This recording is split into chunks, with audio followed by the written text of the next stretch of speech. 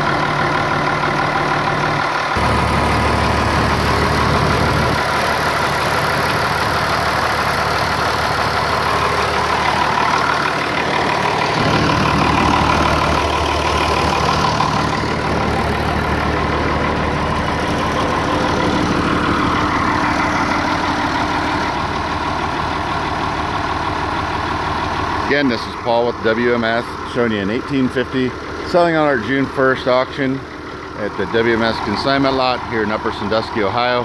Good usable tractor. Details at WMSOhio.com. Check out that June 1st auction.